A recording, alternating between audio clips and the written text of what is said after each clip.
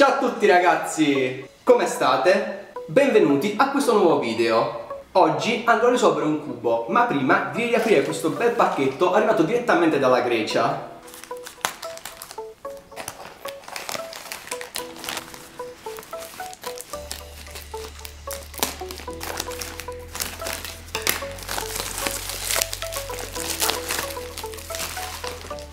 E voilà, Eccolo qui raga, posso semplicemente dire che figata, è un gioiello, uno spettacolo, quasi mi duole il cuore a toglierlo dalla scatola.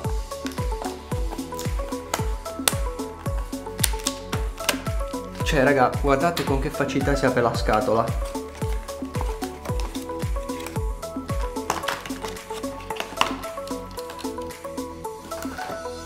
Ed ecco qui il cubo unboxato. Raga, questo cubo secondo me è assolutamente spettacolare. Non vedo l'ora di mischiarlo, risolverlo e giocarci, ma prima ve lo mostro un po' più da vicino.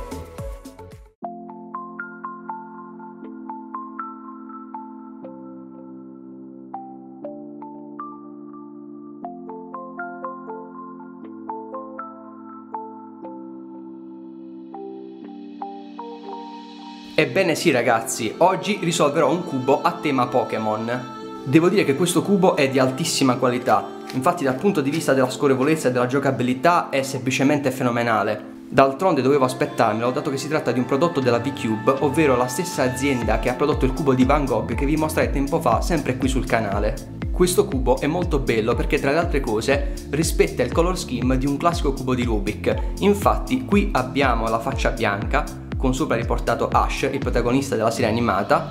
Poi abbiamo sulla faccia opposta, ovvero sulla faccia gialla, un tenerissimo Pikachu.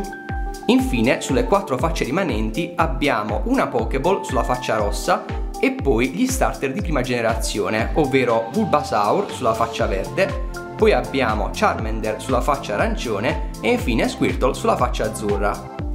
Raga, io non sto più nella pelle, quindi direi di non perdere altro tempo e di passare subito alla risoluzione del cubo. E iniziamo la risoluzione. Allora, vediamo come è messa la faccia bianca. Ok, questo è il centro bianco orientato correttamente. Adesso andiamo alla ricerca di tutti i vari spigoli e formiamo la croce bianca. Ok, questo è il primo pezzo già sistemato correttamente, quello superiore. Vediamo un po' di trovare gli altri. Ok, questo è il pezzo che va a destra. Quindi così, perfetto. Ora, questo qui è il pezzo che va a sinistra. Quindi in questo modo è sistemato, ok. E qui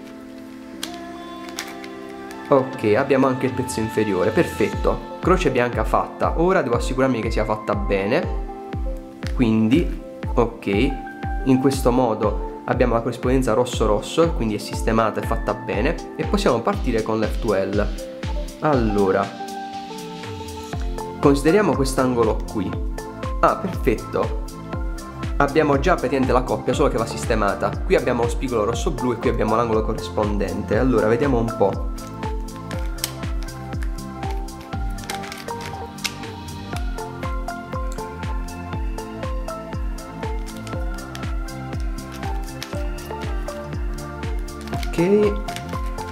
Prima coppia actual sistemata. Vediamo di trovare la seconda. Ok qui abbiamo lo spigolo rosso verde e qui il corrispondente angolo. Perfetto. Quindi facciamo così.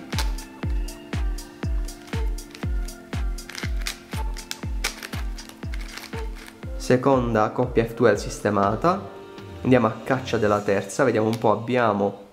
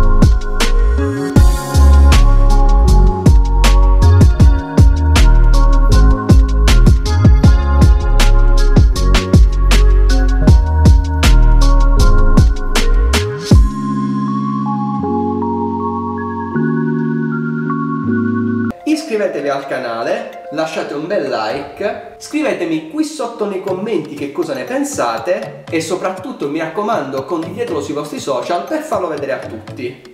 Dovete sapere che questo cubo non si trova in commercio, infatti l'ho progettato io e adesso vi mostro come ho fatto.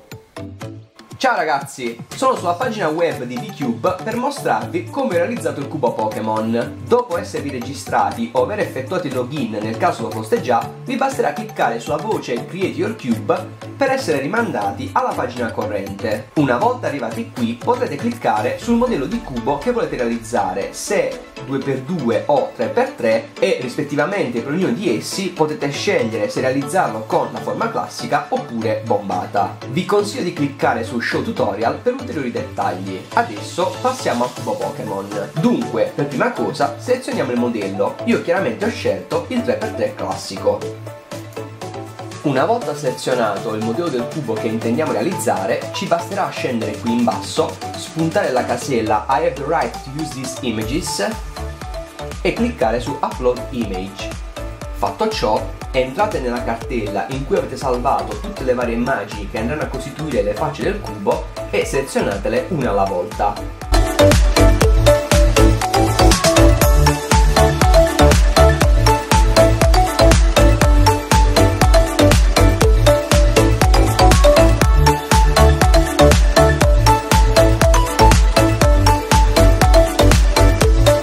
Una volta caricate tutte le immagini, quello che dovremo fare sarà semplicemente applicarle alle corrispondenti facce in modo da realizzare il cubo così come da noi desiderato. Per fare ciò facciamo riferimento alla Current Design Area. Qui come potete vedere è riportato il cubo aperto con le facce numerate da 1 a 6. Come prima cosa vado in corrispondenza della faccia indicata con il numero 6, ci clicco sopra con il tasto sinistro scelgo la prima immagine che voglio caricare, ossia quella che finirà in basso, cioè quella con hash, questa qui, clicco con il tasto sinistro e l'immagine viene per l'appunto caricata. Una volta caricata l'immagine, ciò che andrà fatto per ogni singola immagine sarà scorrere in basso e andare a cliccare nell'angolo in basso a sinistra sul simbolo del visto.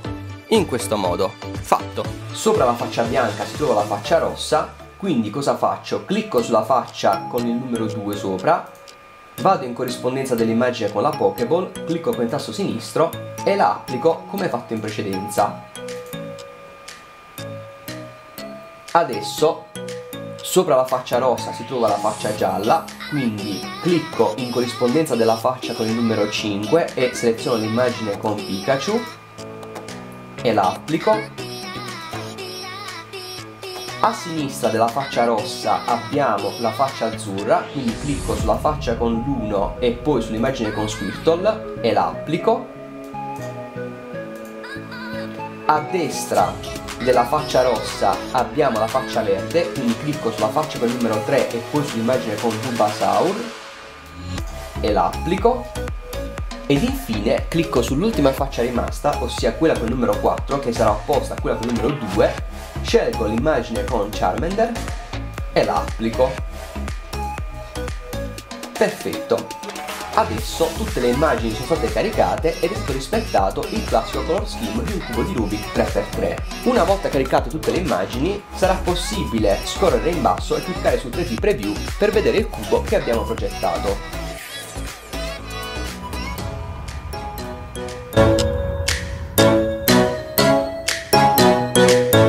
Come potete vedere è lo stesso identico cubo che vi ho mostrato io. Dopo esserci accertati che il cubo sia effettivamente quello da noi desiderato, ci basterà semplicemente scorrere verso l'alto, ci basterà semplicemente cliccare su Save the Cube, inserire un nome per il cubo che abbiamo progettato, ordinarlo e farcelo comodamente spedire a casa.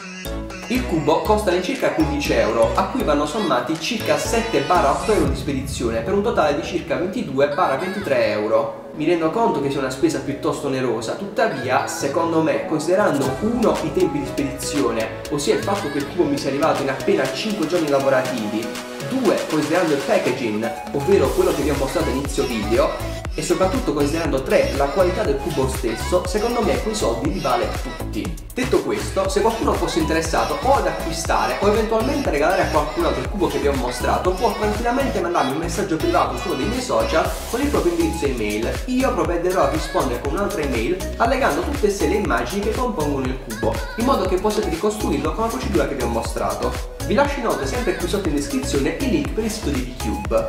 Io con questo ho concluso, quindi non mi resta altro da fare che ringraziarvi per la cortese attenzione e augurare a tutti voi un buon proseguimento di giornata. Ciao ragazzi, al prossimo video!